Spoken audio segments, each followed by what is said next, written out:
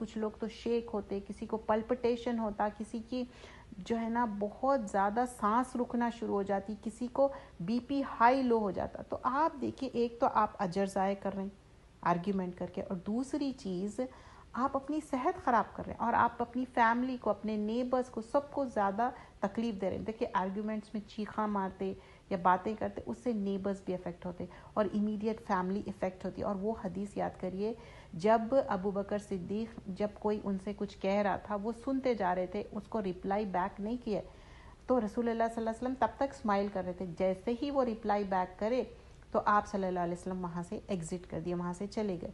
तो ये बात, ये प्रूफ है हमारे लिए कि even though he was right लेकिन जवाब देने की ज़रूरत नहीं है। क्योंकि उस वक़्त हम जब जवाब देंगे ना तो या तो हम भी एंगर में बात करेंगे, हमारा जेस्टर डिफरेंट रहेगा, हमारे अल्फाज हो सकता कुछ ऐसे होंगे और गुस्से में शैतान गालिब आ जाता आपके ऊपर और आप कुछ भी अल्फाज निकाल सकते और अंदर वो हम गंदगी ना रखें ताकि हमारे मुँह से वो गंदगी निकले।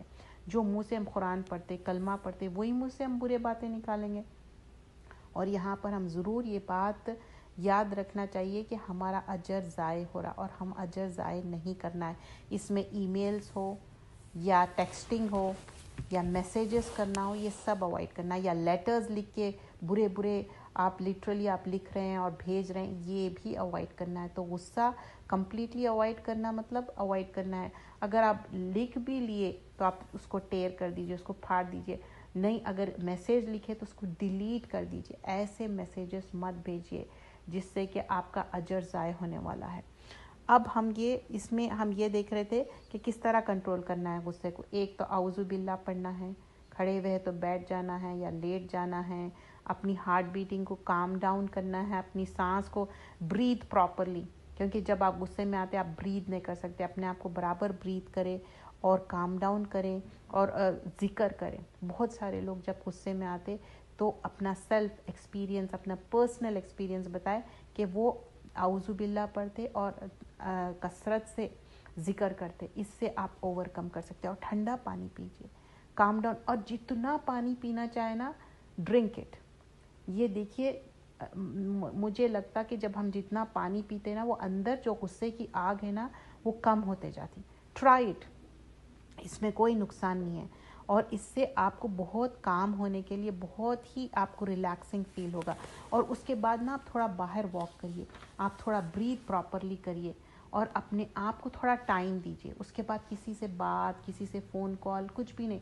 जस्ट काम डाउन मुझे पता है कि जब कोई आपको कुछ बुरा कहता कि बहुत बुरा लगता है, आपकी हार्ट बीटिंग फास्ट होती है, आपकी सांस रुकना शुरू होती है, लेकिन give yourself self some time थोड़ा स्पेस दीजिए। और जैसा हमारे दीन में जो सिखाया गया, उस तरह से आप जो है ना अमल करिए, पानी पीजिए। और फिर उस वक्त बात भी मत करिए, कोई टाइप मत करिए, कोई मैसेज मत करिए, ये कंट्रोल करिए, किसी तरह अपने एंगर को कंट्रोल करिए। और एक मोमिन फुलिश नहीं रहता, वो उलुल अलबाब रहता, उसका दिमाग है। तो use your mind calm down control yourself the fourth thing is एक दूसरे को बुरा बोलना specially husband wife husband wife एक दूसरे को इतना ज़्यादा बुरा बोलते हैं और समझते कि हम ये आर्ग्यूमेंट जीतना है, उसमें बच्चों का नुकसान फैमिली का नुकसान और खुद एक दूसरे का नुकसान।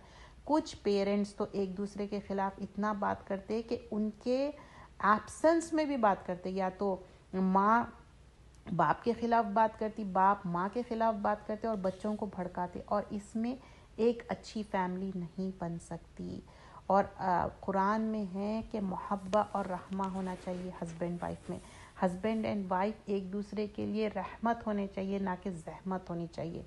और आप वो याद करिए कि कुरान में क्या बताया गया कि हस्बैंड कव्वाम है, एक डिग्री ऊपर है। तो ये बात मान मान लीजिए, हम औरतें हस्बैंड को खुश रख के ही जन्नत जाना है। लेकिन आदमियों के लिए ऐसा नहीं है, उनको तो अपने माँ बाप को खुश रखना है, फैमिली प्लस वाइफ को खुश रखना है। उनके पास ऊपर डबल रिस्पॉन्सिबिलिटी है, इसलिए उनका अजर इसी इसीलिए उनके लिए रिस्पेक्ट भी हमको रखना है। चाहे वो अर्न कर रहा हो, कमा रहा हो या ना कमा रहा हो, वो घर में बैठता हो, उसका जॉब कम है, उसका स्टेटस कम है, या उसके अंदर कोई कमी है डजेंट मैटर फिर भी आपको उसको रिस्पेक्ट देना है। और वाइफ में भी सेम चीज़। वाइफ खूबसूरत हो, ना हो, या उसके अंदर कोई स्किलफुल चीज़ हो या ना हो still you have to love your wife husband wife एक दूसरे से मोहब्बत करना है, एक दूसरे से अच्छा अमल करना है। सबसे बड़ी चीज़ रिस्पेक्ट और भरोसा होना चाहिए एक दूसरे पे। अगर ये चीज़ नहीं होंगी तो आर्ग्यूमेंट्स होंगे और end up with big fights end up with you know separation वो अच्छी बात नहीं है। एक औरत ना बहुत फ्रेजाइल होती। वो एक कांच की बर्तन की तरह है। बार बार उसका दिल दुखाएँगे, वो टूट जाएगा। और एक आदमी का ईगो बहुत ज़्यादा होता। अगर हम उसके ईगो को हर्ट करेंगे तो वो भी टूट जाएगा। तो एक दूसरे का ख्याल रखना है ख्याल रख के अच्छी फैमिली बनाना है। एक आ, ऐसी फैमिली हो जिसमें अच्छा माहौल हो। तो ऐसे पेनफुल वर्ड्स पेनफुल बातें पिंच करने वाले चीज़ें हार्श वर्ड्स नहीं करना चाहिए।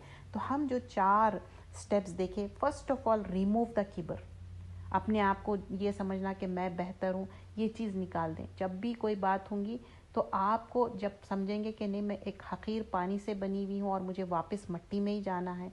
एंड सेकेंड चीज़, आप जब कंट्रोल कर रहे हैं तो बैड लैंग्वेज बैड बिहेवियर चीखना, चिल्लाना, तोड़ना, ये चीज़ा, ये सब चीज़ें छोड़ दें। स्पेशली कर्सिंग करना। थर्ड चीज़ है आर्ग्यूमेंट से इज्तनाब करिए। आर्ग्यूमेंट्स बिल्कुल अवॉइड करिए गुस्से में। And fourth and final thing husband wife एक दूसरे के साथ बुरा ना बिहेव करे, ना बच्चों को गलत बातें सिखाए एक दूसरे के खिलाफ इवन दादा, दादी, नाना, नानी या जो भी अपने रिश्तेदार, उनके खिलाफ भी गलत बातें मत सिखाए। देखिए, अगर आप ये चीज़ें सिखाएँगे, एक अच्छी फैमिली नहीं बन सकेगी।